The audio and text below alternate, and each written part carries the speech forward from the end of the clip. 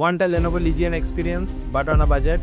This is the Lenovo LOQ with Ryzen 7 and RTX 4050 and I have been using it daily for the past 12 months editing videos, animating in After Effects and rendering heavy projects. It's powerful, it's affordable, and yes, there's a little controversy about this laptop, we'll talk about that too. If you are a video editor or even thinking about becoming one, stay till the end, this might be the perfect machine for you. Hey, I am Supriyo and I have used this Lenovo LOQ for the past one year. This review is especially for those of you who are doing video editing, animation or content creation and wondering, can this laptop handle professional level workload without breaking the bank? Let's find out. It's minimal, clean, no flashy RGB, no gamer vibe, perfect for studio and clients work. Plastic body but sturdy feel, no flakes on the keyboard deck.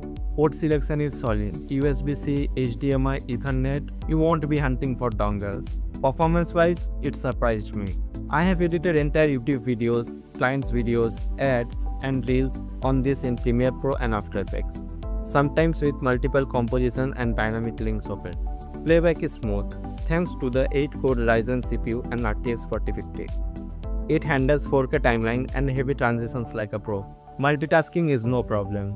I usually have Premiere, After Effects, Chrome and Spotify open together, and it barely flinches. The 144Hz display is sharp and smooth.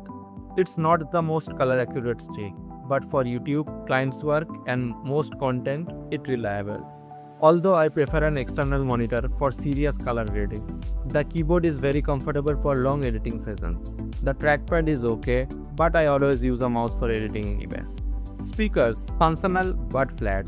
I prefer using headphones. The battery life is average, 3 to 4 hours of light work, 1 to 1.5 hours while editing or rendering. Not ideal if you move a lot, but let's be honest, we all edit plugged in anyway. Okay, now the part people are waiting for, the motherboard issue. If you have Google Lenovo LOQ problems, then you have seen the complaints, dead boards, sudden shutdowns, Reddit horror stories. But in my case, 12 months of editing heavy use, no issues, not even a service. I haven't opened the back panels once. It's been surprisingly reliable, even under pressure. So, why should editors even look at this? It handles Premiere Pro and After Effects effortlessly.